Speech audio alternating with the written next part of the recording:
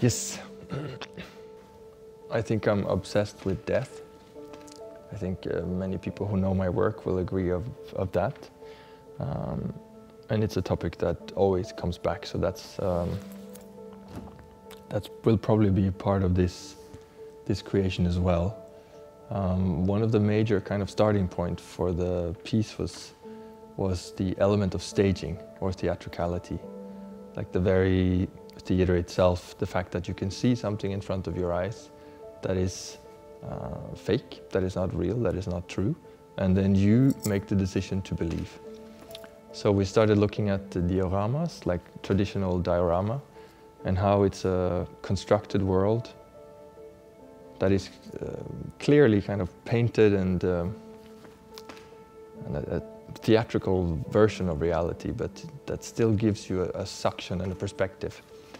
And uh, this idea of truth and false and um, reality versus fiction is also something that I, I work with a lot in my work.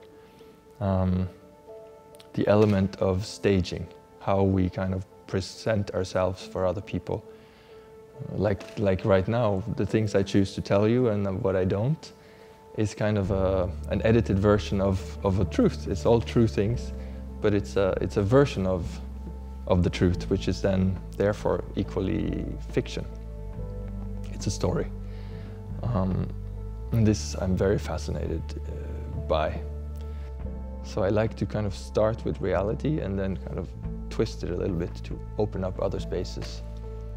I'm very fascinated by TV, you know, like I, I kind of grew up with uh, TV that's six feet under and, and programs like that that would take kind of reality and open it up to, to subvert or to, or to create another point of view.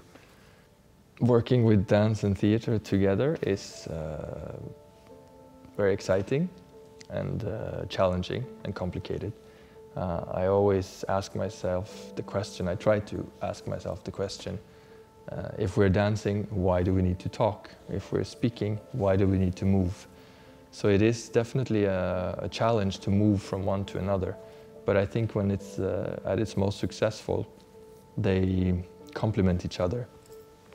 I love the way words create, kind of open up uh, windows or doors in our heads into other other worlds so that when you see movements uh, so if, I, if I'm moving and I say the word um, snow to you. It will mean something to you and it will mean something else to me but it will open up to it like an avalanche of references that you will then um, try to understand the movement through.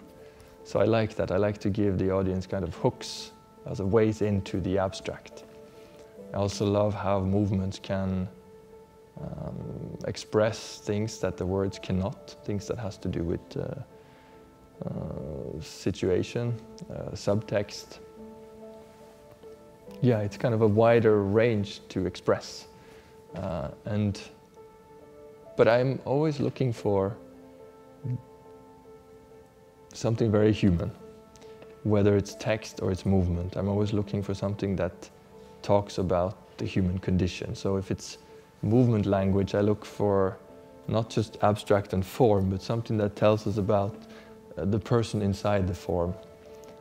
And the words that, uh, that are chosen comes from the same. Uh, and how they are expressed also comes from the same. I'm kind of trying to strip away and let uh, the performers be kind of themselves so that you see something that you recognize on stage. Which of course is the most difficult acting you can ask people to be themselves. Working with Paris Opera Ballet is of course a big deal. It's a it's like being in dialogue with a legend. Um, I'm in a room now where a lot of great things have been created there's a history there. And that makes me very happy and that makes me very calm.